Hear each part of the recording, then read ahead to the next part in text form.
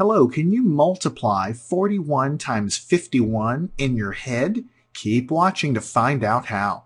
And today we're going to learn a very, very powerful technique that we can use to multiply two numbers together. And we're going to apply it to two digit multiplication. So we'll have two digits on the top, multiply by another number that's two digits in length. And we're going to learn a method that we are going to be able to use in your head to uh, basically multiply any two digit numbers together. Now, a lot of these tips that I'm sharing with you are uh, tricks or special cases. This is really not one of those. This is something you can you can really apply to any two-digit multiplication problem, and it's really called the uh, crisscross method of multiplication. And truth be told, you can apply it to three and four-digit numbers also, and we'll we'll learn about that a little bit later. What you basically do is uh, first just focus your efforts in the right-hand column. Uh, and so the first thing you need to do to get the rightmost digit of the answer is multiply the two digits in the rightmost column. So 1 times 1 gives us 1.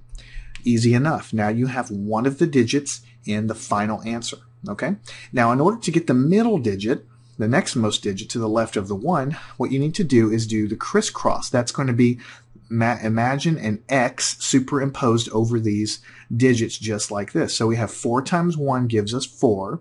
We have 1 times 5 gives us 5. So we take 4 plus the 5. So what you're doing is doing this multiplication and adding to it this multiplication. So 4 plus 5 gives you 9. So that is the middle digit. You have a 9 there. Okay, easy enough. That's the crisscross part of it. And then for the leftmost digit, uh, you just multiply the leading digits together. 4 times 5 gives us 20. So you put a 20 here because here we're at the left-hand side of the problem, so we just put both digits down for 2,091. And that is the answer, ladies and gentlemen. You just look at the right-hand digit. 1 times 1 gives us the 1. For the middle digit, you do a crisscross, so you have 4 times uh, the 1 plus this multiplication, which is 5. So 4 plus 5 gives us 9. And then for the leading guy, you have 4 times 5 gives us 20. And The answer is 2091. Okay, now for the next problem to illustrate this, we're going to proceed in exactly the same way. Once you know the basic technique for crisscross multiplication, uh, you can apply it to any of these problems. So first, focus your efforts in the right-hand column. 0 times 2 gives you 0. So you go ahead and mentally hold that 0 as your last digit, or go ahead and write it down if, you're, if you have pencil and paper out in front of you. And then in order to get the next digit to the left, you do a crisscross. So you have 3 times 2 gives you 6. 0 times 1 gives you 0, and you're going to add these together. So 6 plus 0 gives me 6. So I put a 6 here. And that takes care of that digit. And then now we turn our attention to the leading column. 3 times 1 gives us 3. So 360, and that's the answer. And I think most people would agree that doing it this way is much faster than multiplying every digit and getting two lines of, of numbers here and then having to add them all up uh, here. And so, you know, you, you at least have a shot of being able to do this mentally. With practice, you'll definitely get there. Okay, now our next problem is 13 times 12. It's a problem that uh, a lot of people would turn to a calculator to get the answer to. Uh, you can estimate it pretty easily, but with crisscross multiplication, rapidly doing two-digit multiplication is not a problem. We work in the right-hand column first. 3 times 2 gives us 6, so we write a 6 down here. Next, we work on the next digit over by doing crisscross multiplication. 1 times 2 gives us 2. 3 times 1 gives us 3. So 2 plus 3 gives us 5. So we write the 5 down. And we're done with that digit. Now let's focus on the leftmost. 1 times 1 gives you 1. The answer is 156. I think you would agree that most people, once you know this technique, could certainly do this in their head. And even if you're not doing it in your head, even if you have pencil and paper out, it's still much faster to do it this way than it is to do it the traditional way. Okay, our next problem is 22 times 12. So again, we work in the right-hand column. 2 times 2 gives us 4. So we write that in the rightmost digit. And in order to find the answer to the middle digit here, we do crisscross. So 2 times 2 here is 4. We keep that in our head. 2 times 1 is 2. So adding these up, we have 4 plus 2 gives us 6. And when you're doing the crisscross step, I really want you to think about it like this. You kind of in in the air or, or right above your paper, just use your pencil to just in the air, just go sort of glide across and say to yourself, okay, that's four because two times two is four plus this guy multiplied is going to give me two. So four plus two gives me six. And I, I write that down or I mentally hold it in my head. Next, for the leftmost digit, 2 times 1 gives us 2. So the answer is 264. And I can guarantee you that this is much faster than, than multiplying digit by digit, putting a zero, multiplying digit by digit, drawing a line, adding them all together. At some point, you're going to make a mistake trying to do that mentally. But with these lower numbers, you're going to be able to handle it. Now, up till this point, I've given you what I consider to be the, the sort of the easier problems with two digit multiplication because there was no carrying involved. In other words, every multiplication I did, I could just write the answer down here. And so I didn't really have to carry anything over to the next, to the next step.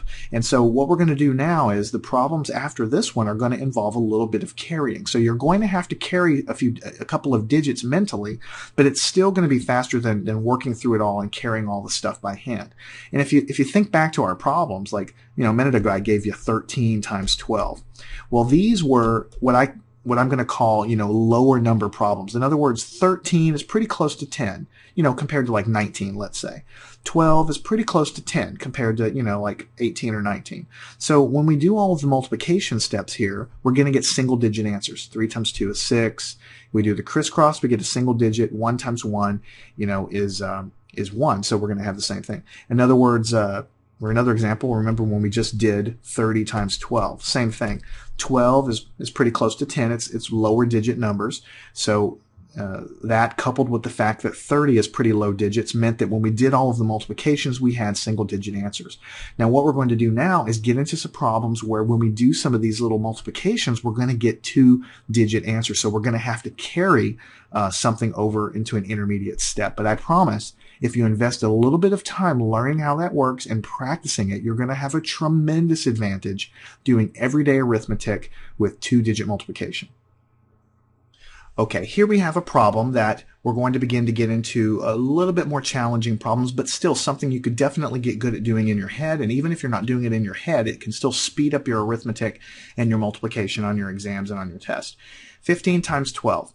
This is an example of what I'm going to call higher number problems. 15 is, is, is not so close to 10, so it's, it's getting up there. So what you're going to have here, if you just follow the technique exactly as I've told you, which is all you need to do, is you do 5 times 2. But notice that here, 5 times 2 is 10, and that's a two-digit number. So in all of the other problems, when we did our first multiplication, we had a single digit there, so we wrote the digit down. It made those problems much, much easier to do in our head. But now we have 5 times 2, and that's 10. So we have two digits. You can't just write 10 down here, because if you start doing that, you're just going to get numbers that are too large, and they're going to be the wrong answer. You do need to do a little bit of carrying here. And so 5 times 2 is 10, so we're going to write the 0, and I'm going to write the little 1 up here, and I'm going to put a little you know, I don't even know what this is, a little sun or a little smiley face, whatever you want to call it, surrounding the number one. The reason I'm putting it there like that is because, you know, this is a mental math uh, course. So what you're going to be doing really is remembering this in your head as you get more and more practice. Right now I have to write it down so you know what I'm doing, but really you're keeping this one in your head and as you get practice it will be much easier to use it. So we have a zero, we have the one, we're going to carry it. Now we work on our, on our middle number just like before. One times two is two. So two plus five, two plus five is seven. Now we have 7 for our middle digit, but we're not done because we carried a 1. So 7 plus 1 is 8, right? So we just put an 8 there. And then we just work on our leftmost column like usual. 1 times 1 is 1. So the answer is 180. That's the final answer. Make sure you understand what I'm doing because when you understand this basic technique, all two-digit multiplication problems are going to really follow the same pattern. You do still have to carry because when you multiply, you're going to get some large numbers sometimes, but it's much easier than writing it all down, uh, you know, and adding it up. And, and you at least have a chance of doing this in your head. And with practice, you will get there. So 5 times 2 is 10. We write the 0. We carry the 1. We keep it in our head. Then we do 2 plus 5 gives us 7, plus the 1 we carry gives us 8. Now we're done with that. Leading column, 1 times 1, gives us 1. All right, our next problem is 16 times 20. We proceed in exactly the same way.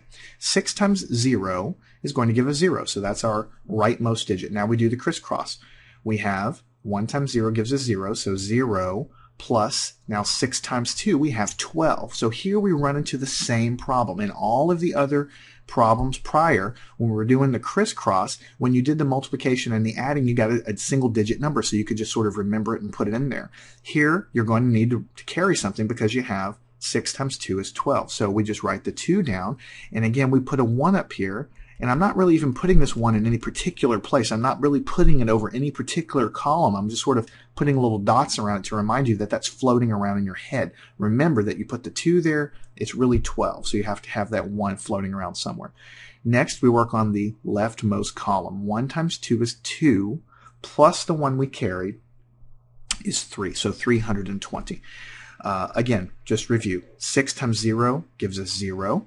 Then we had 0 plus the 12, right? 0 plus the 12 just gave us 12. So we put the 2 here. We carried a 1 in our head. We knew we had a 1 left over. Now 1 times 2 is 2, plus the 1 we carried is 3. 320. Now, yes, you do have to carry a little bit, but it is easier than multiplying digit by digit and having two large three-digit numbers to add up to get a final sum. You're, you're really able to do it in your head with some practice. Okay, our next problem is 25 times 18. And what you're going to find is that all of the future problems really obey all of the rules. You just need to do the little bit of carrying when you when you need to. So if you can handle that in your head, if you get practice with it, grab a calculator, get good at it. It'll help you out tremendously. If you're doing it by hand on paper, this is still a faster method. So what we do is work on the right-hand column. 8 times 5 is 40. 40 is too big to write down, so we put a 0 and we carry a 4 like this.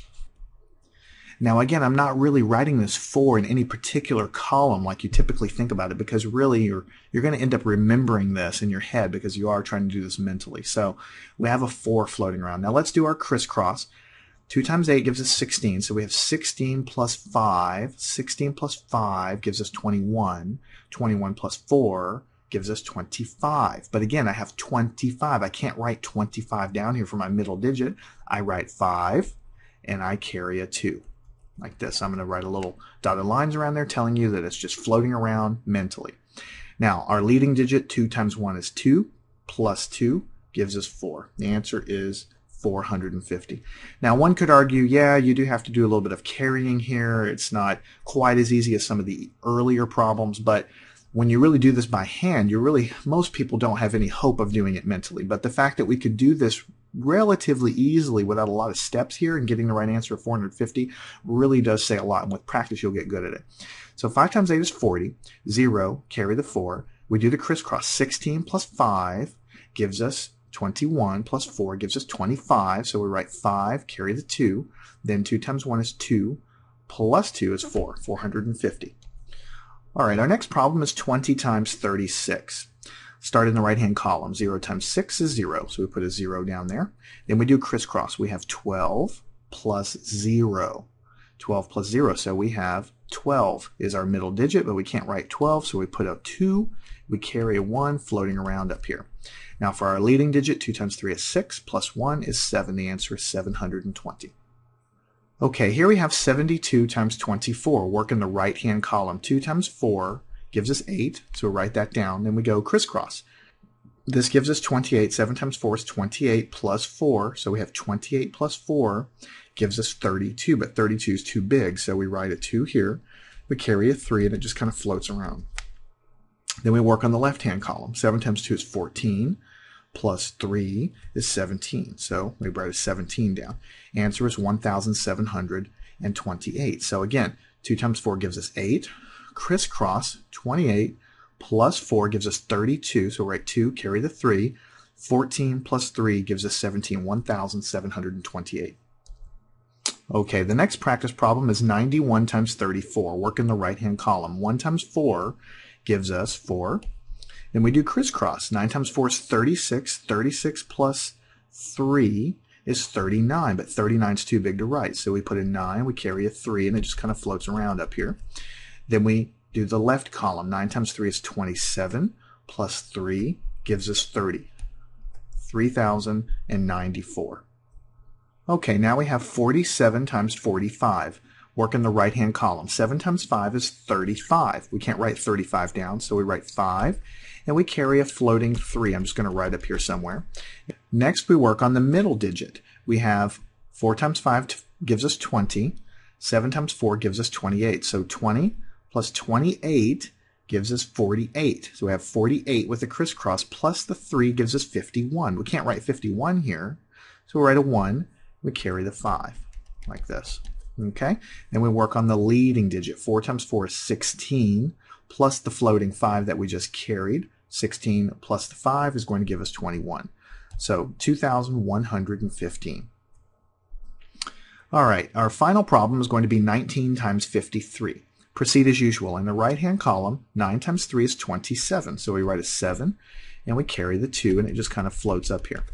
Now we work on the crisscross. We have a 3 plus 9 times 5 is 45. So 3 plus 45 uh, is going to give us 48. And so we have 48 from the crisscross plus 2 is going to give us 50. We can't write 50, so we just put a 0, carry the 5, off floating off to the left here. Then we work on the left-hand column. 1 times 5 is 5, plus 5 gives us 10, so we just finally write the 10, 1007. So that is a good introduction to what I call crisscross multiplication. It's very powerful and very easy for anyone to pick up when you have kind of smaller numbers because there's no carrying involved. And those were sort of the numbers that we had in the beginning of of this lesson here. And if only thing you use this for is for those smaller digit numbers like 10 times 12 or like 11 times 14 or something like that, or 21 times maybe 22, then you will have a tremendous asset to use on your exams. But if you just give it a little bit of practice, pull out a calculator, write some problems down, and practice with a little bit of borrowing and, and a little bit of carrying that you have to do here, then you'll get very good at these simple little carrying techniques and you'll be able to multiply things like 89 times 84 in your head, or even if you're using a piece of paper with minimal math and with a faster method. It's not really intended to replace the other way of multiplying that we learn in school. It's just a different way that's sometimes faster, that can really shave minutes off of your exam or off of your test. And when you get good at it, you'll have a method and a technique that's going to give you a leg up over your students and over your peers. Learn anything at mathandscience.com.